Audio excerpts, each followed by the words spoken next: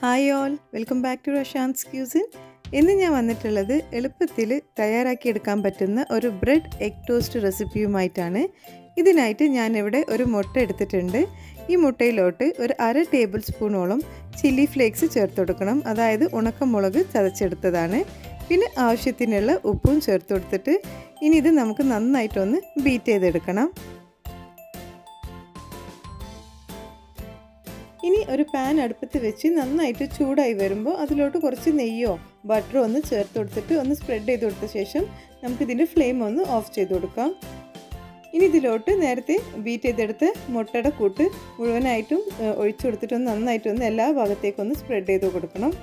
ഞാൻ തീ ഓഫ് ചെയ്യാൻ പറഞ്ഞത് ഈ മുട്ട പെട്ടെന്ന് കുക്കാവാതിരിക്കാനാണ് ഇനി ഓരോ ബ്രെഡ് ഇതുപോലെ ഓരോ വശം മുട്ടയിലൊന്ന് ഡിപ്പ് ചെയ്തെടുത്ത് ഒന്ന് തിരിച്ചിട്ട് കൊടുക്കണം. അങ്ങനെ രണ്ട് ബ്രെഡ് സ്ലൈസസ് ഞാൻ ഇതിൽ വെച്ചെടുത്തിട്ടുണ്ട്.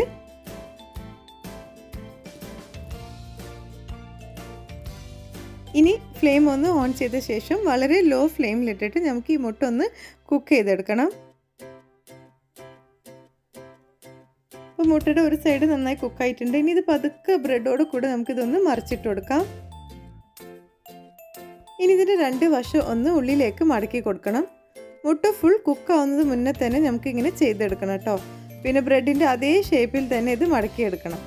ഇനി ഇതിന്റെ ഒരു സൈഡിലായിട്ട് ഒരു സ്ലൈസ് ചീസും ഒരു സ്ലൈസ് കുക്കുംബർ ഒരു സ്ലൈസ് ടൊമാറ്റോ വെച്ച് കൊടുത്തിട്ടുണ്ട് പിന്നെ മറ്റൊരു സൈഡിൽ കുറച്ച് മയനൈസും കുറച്ച് ടൊമാറ്റോ കെച്ചപ്പ് ഒന്ന് സ്പ്രെഡ് ചെയ്ത് കൊടുക്കാം.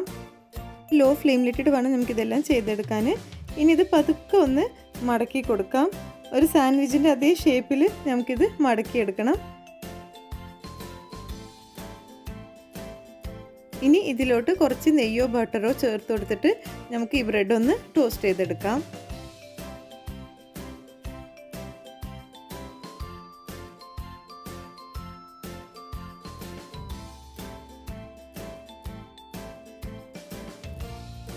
ഇത്രേ ഉള്ളൂ.